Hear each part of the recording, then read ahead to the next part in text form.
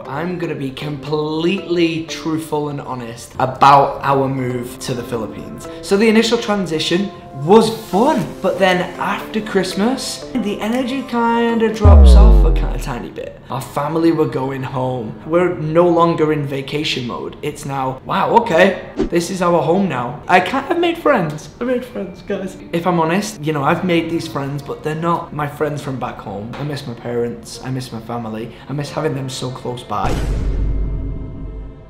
Oh my god guys, it is so hot today. When you all told me about a Manila summer, I don't know why I didn't believe you guys. It gets hot. This is the actually the first ever summer I've spent here in the Philippines and it is so hot. Oh my god. Okay guys, I'm just on the way now to pick up a few bits for the Airbnb property because we've got an engineer there right now and he's missing some parts. Oh my, this honestly like in property and getting things sorted for a property takes up like 50% of my time now. I'm not even joking. Ah, anyway, later on in today's video, I'm really excited because I'm gonna go and meet a friend of mine, uh, also a vlogger here in the Philippines, who I have not seen in like, I don't know, it must be like four years. So it was 2019 the last time I seen them. And today we're gonna go, we're gonna have lunch, we're gonna catch up straight after this. I'm heading to High Street to meet them. I'm really excited to see them because, mainly because they have recently moved here full time. So you may already know who it is. They've been a travel vlogger in the Philippines for maybe like four five years or so. Very similar situation to myself. Also married to a Filipina. Guys, comment below. Can you guess who it is? Also from Europe. Also has blonde hair. and and they're also going through something really similar to Kim and I right now as in they're just buying a property here. They have a property here that they've just invested in and they're just going through the whole renovation process. So it's going to be good to catch up with them. Anyway I need to hurry up because Kim's to shout at me if I don't get this part quick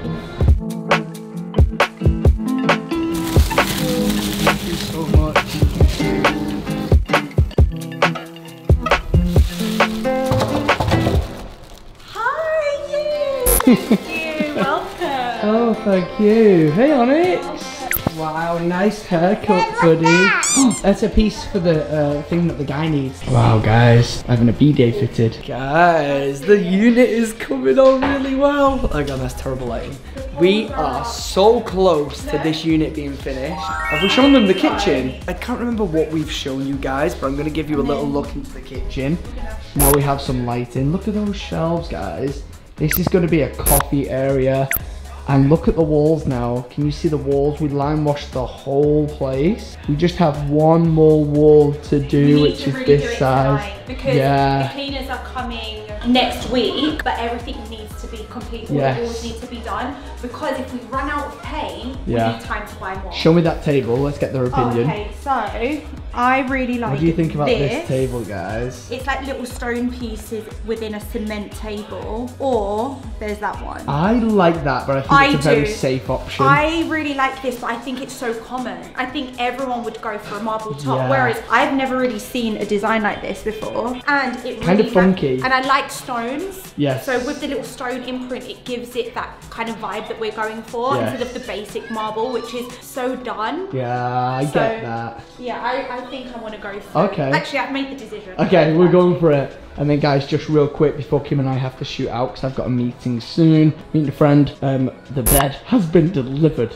So literally guys, we just have to get it cleaned, build the bed, buy the table, insert the TV, paint this wall, put it on But there's like things that pop up, like for example, this wire here is sticking out, so we've just had the internet installed. These are things that you don't think about. Yeah. So now we have to come up with a new way to hide the wires. I've just been talking to our contractors, maybe we add a fake wall, all these little additional stuff that I didn't really include in the It's a learning curve. But, you know, I want it to look flush. Curtain poles are now up, but yeah, we're 100% we're getting there. It looks really good. Yes. Really, really good. Right. Interesting because, guys, the friend who I'm going to go and meet soon is currently renovating a home here in the Philippines. Uh, him and his wife have just purchased somewhere, so I can do with getting a few tips from him as well as also the whole transition. Like he's kind of a bit ahead of me in terms of transitioning to the Philippines. So I want to pick his brains today and, you know, learn a little bit more about the Philippines and how he's managed to integrate into the culture because I can always learn new things.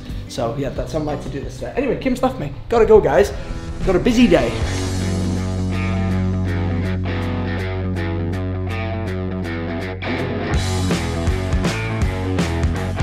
Thank you, Kuya. Ingat helmet hair.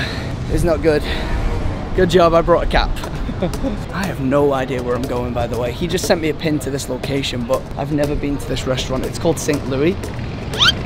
Into Gualam, guys. I've no idea where it is. Sandalite. I'll catch up with you guys in a minute. Let me just find where I am because I'm, I'm actually late. Sandalite. Okay, I went into the wrong building. Okay, where was I? So, we haven't seen this friend of ours for four years, guys, when we were last in Cebu. Pre-kids, Kim and I went to a big vlogger meetup and we met so many cool people there. There was George and Lucy. About, there was about 20 different vloggers there and these two were on this. So I'm gonna go get some coffee, get some lunch, and I'll catch up with you guys soon. Okay guys, I'm here right now with my good friend.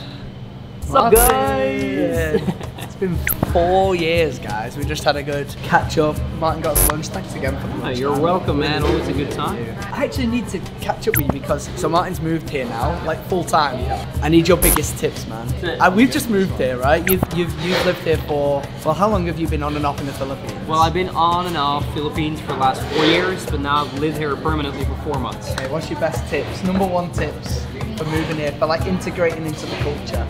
Ooh, that's a very good question. Straight on the spot. So I would say number one is like go out with friends, you know, go out network. Number two would be I'm learning Tagalog, so like take some couple classes with that just to integrate yourself in the culture. I mean, you just gotta speak to people, man, like because it's a different culture. So I mean, you're good at that already, Yeah. you know. But that's what's working for me. Trying to network a lot. Trying to establish myself, you know, from coming from traveling all over the world, permanently having a base. Uh-huh. There's a lot of opportunities that comes with it, but you gotta let people know that you are here. So Yeah, that's a really good. That's a good know? point, man. I found that I actually just started, even off camera, I just started jujitsu for that reason because I was like, kind of need something where I'm going to be able to meet new people and get yourself out there. Because you go from like having so many friends in like one country to like there's no one here. Did you find that as well? Yeah. So trying to network with as much people as possible and create opportunities. That's what it's all about, man. That's why we're here today. Man, thank you very much. Well, we good.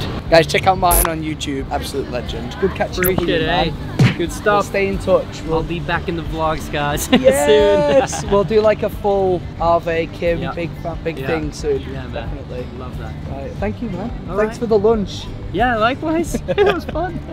Okay, what's going on guys? In today's video, I'm gonna be completely truthful and honest about our move to the Philippines. And I'm gonna just lay it all on the table and just explain to you guys everything that we've gone through, the whole transition that we've had since moving here, and the truth on what it's been like for me, foreigner, in moving to the Philippines. Though, guys, if you've followed this journey, you will know that in December of 2022, Kim, my wife, and our two kids, and myself, we moved our whole life over to Manila. That in itself was probably the biggest thing that I've ever done. Like the biggest challenge, the biggest change in scenery. Guys, let me just put it into perspective for you.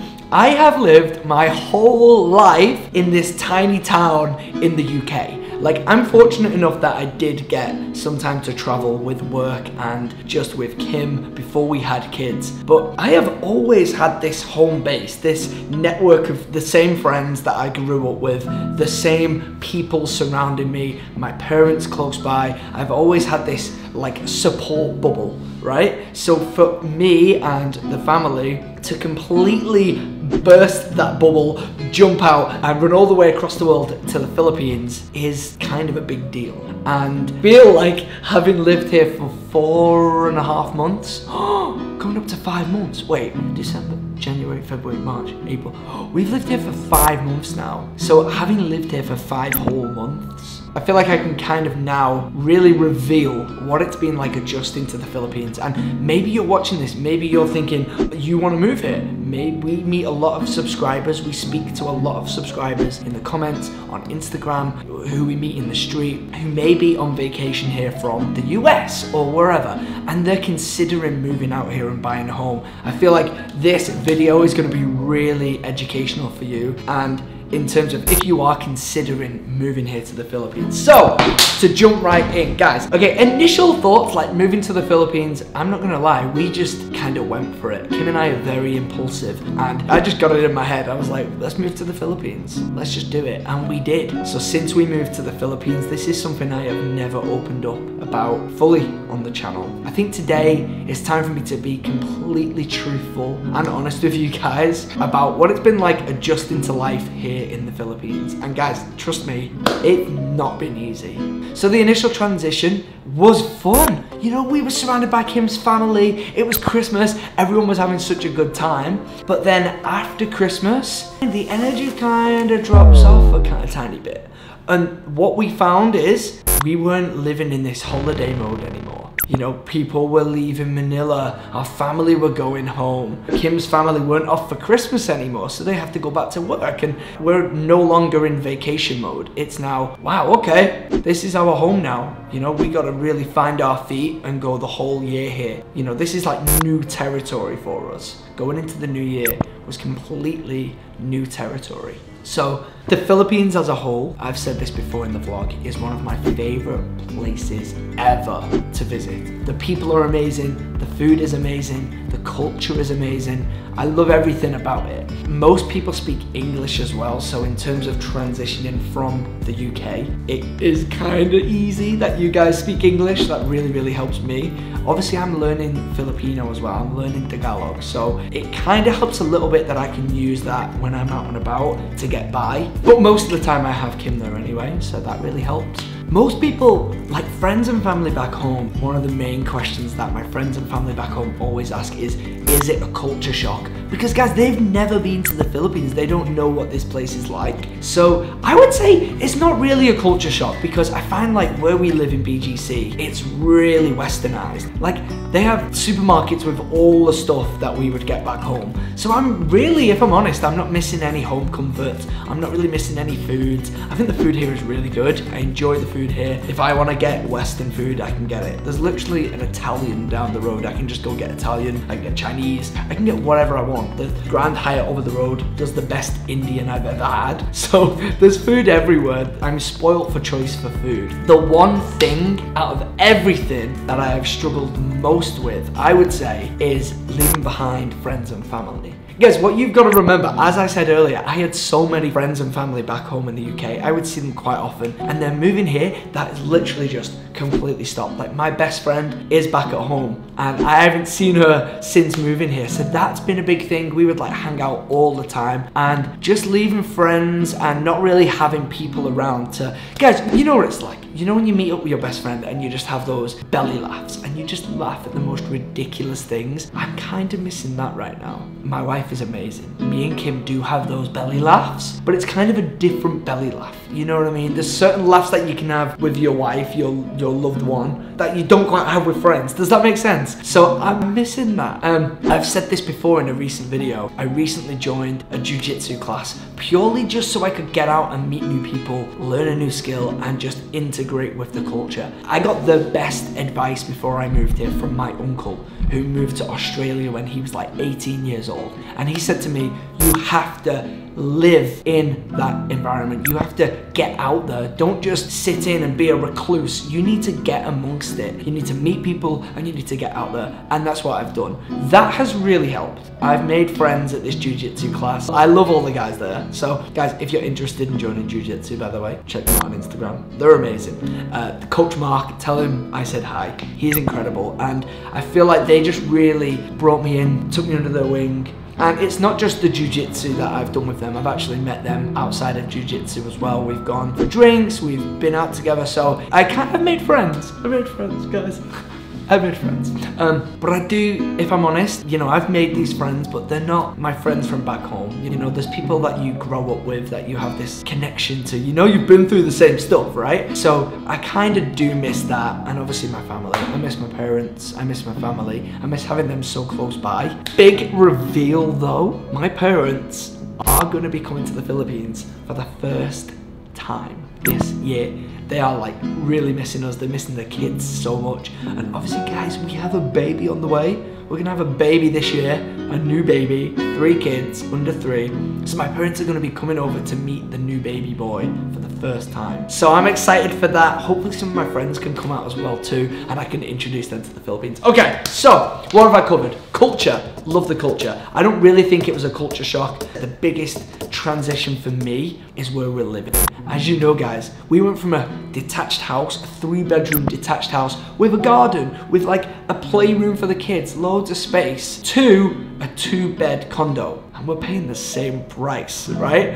But we're living amongst everything. We're living amongst all the restaurants. We're living in an amazing place. We get that. But one of the things that I'm really missing is a place that really feels like home. You guys, you know, if you've got your own house, there's just something about it. You know, when you have like space and a garden and just your own place to call home. I kind of feel like we're missing that right now. Because guys, we're currently renting this condo unit and it just doesn't quite feel like home. We've definitely outgrown it. And all of our stuff from the UK is finally here in Manila. Like it's finally here. We've just hooked up with a storage company, thank God. We've got this storage company, Keeper Storage, that we're gonna be storing all of our stuff in. They have like helped us out last minute by finding us some space to put all our stuff because we have this huge shipping container and we can't fit anything in our condo. So guys, they're literally gonna store it all for us until we find a forever home. If you've watched our vlogs, we filmed like two vlogs. We toured Cavite, Tagaytay, we toured Alabang. We are still looking for a forever home. So I feel like until we find a place that we can call home, we can make it our own, have all our familiar furniture in there, you know, just like sitting on your couch, just like getting in your own bed, you know, like the smell of your like own stuff. Is that weird? Sounds a little weird, but just having all your things there, that is what I'm so just like missing right now. And I know that when we finally get this house and have more space to bring all our own furniture in, I'm gonna really feel settled. So right now, five months in, we're still not really settled. Like we've said on the vlog before, yeah, we're kind of settled now, we're used to it, but guys, the truth is we're not. We're really not. Being in this condo, it's kind of small and we've definitely outgrown it. We really need our own place right now. But, but, the silver lining is we are soon to get this place. I have confidence, guys. We're viewing properties next week. We're looking right now. We have to be out of this unit soon. Like, I think we just signed a six month lease. So pretty soon we are gonna have to leave and find a big house. So overall, the transition has gone really smoothly. It could have gone so much worse. It's gone really smoothly. I think I'm grateful to just the whole of the Filipino community. I feel like we've really been welcomed. That's also one thing that goes through your mind before moving here is, you know, how are we going to integrate? This is new to me. Kim came here every single year, guys, when she was a kid growing up. She has like lived in this culture before. It's familiar to her. Her mum was born here. Her family all live here. So I think the transition for Kim has been much easier than it has for me. But with that being said, we are still both struggling with the fact that we just haven't quite found our forever home yet. But that's coming. I'm confident. I really am confident that we will find one.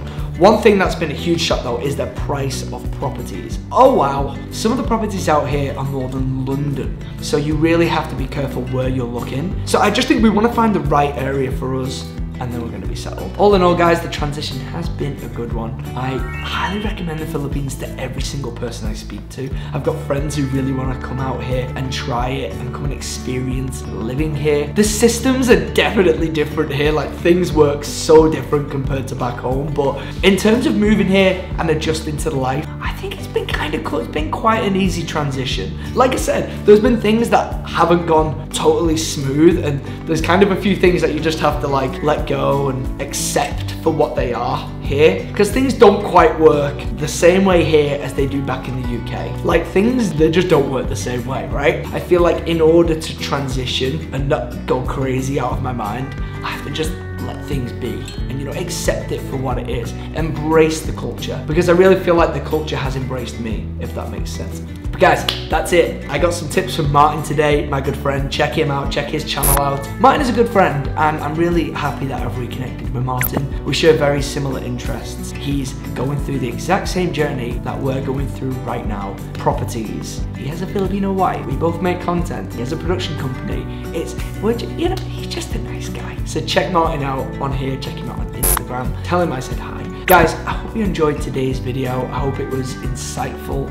Like I say, I've just laid everything on the line today about what our whole move has been like because I want to be truthful with you guys. I don't you to just think that we've got this beautiful life here. We're like so happy. You know, you just see what you see on Instagram. Yeah, we're very happy. You know, we'll find happiness wherever we are because we're there together. But also, I want to be real with you guys. We're not at the stage right now that we really want to be, but we know the route and we know the path to get there. And I think that's a really important lesson that I've learned since moving here is, you know, we were fearless when we moved here and I'm grateful that we did move here, but and I think the key to anything is just having a place to call home. That's probably been the biggest transition is finding a forever home. So once we find that guys, we're gonna be flying. Okay guys, I'm gonna close out today's video. Hope you enjoyed it. Guys, check us out on Patreon if you want more content. We post more over on Patreon. There's behind the scenes, there's tons of cool stuff over on there, lots of perks. And you also get your name in the credits,